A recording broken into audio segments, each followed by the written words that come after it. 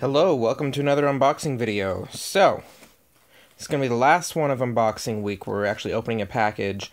Uh, there's a little bit of an experiment that we're going to be doing tomorrow that has to do with this. So, this is something I got from Japan. Um, it's pretty special and pretty unique. So, excited to have this.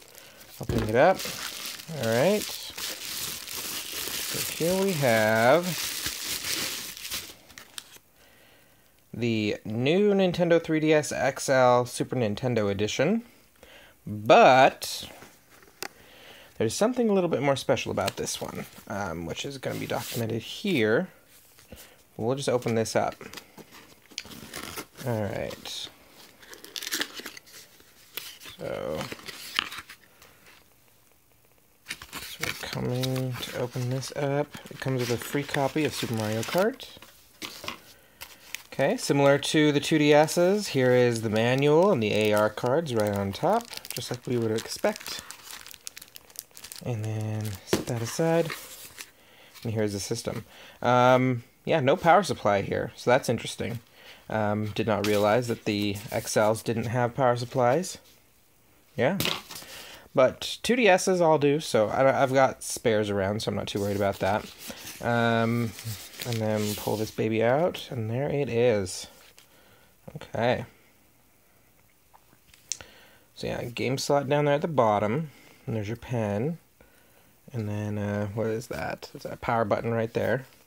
Styled after the Super Nintendo. Pretty cool. Alright. And then the part that is going to be unique. Let's see if I can get this right center. Right there. That USB port uh, is actually added by Katsukity and will enable us to do capture off of this thing through a computer. So, we can now capture 3DS, 2DS, uh, DSi, DS, any any 3DS family compatible game, we can now capture. So, uh, we're going to be using this to capture some footage of games now uh, for 2DS and, and 3DS games, and it's going to be really a lot better, I think. Um, let's just open this up, have a look at it here. So there's a little bit of schmutz on there, unfortunately. Japanese schmutz. Straight from Japan. There's a little bit of schmutz on the screen. Okay, cool. Um, yeah. Sweet. So let's just turn this thing on.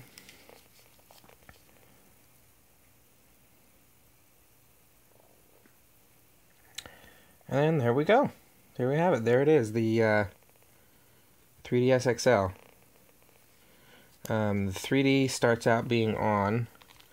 Now this is supposed to have like a hardware enabled facial tracking thing.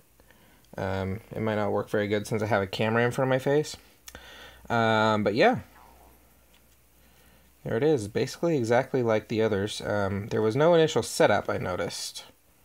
So there was...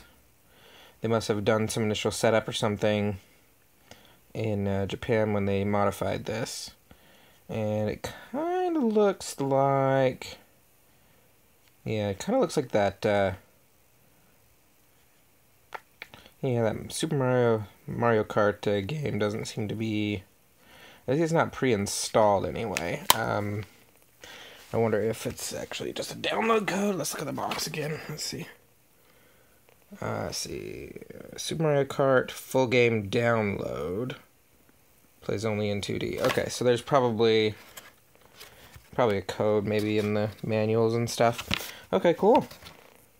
So I am excited to give this a try. Uh, tomorrow, we are going to do an experiment with the uh, 3DS Family Transfer. Uh, so the plan is to take uh, everything off of my uh, existing original 3DS and then transfer that through each of the 2DSs that we have, landing on here. Uh, and the goal there is uh, we're going to try to get the digital copies that came pre-installed on those to kind of roll over with the account. Um, something about the we'll, we'll talk about that more tomorrow.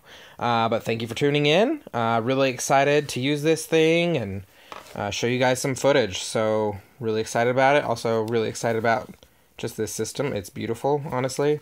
Um, yeah. Super Nintendo is one of my favorite systems of all time. Uh, I love how they have the purple buttons there, and oh yeah, this looks great. Super excited. All right, thank you for tuning in, and we will be back tomorrow to document how that transfer process goes.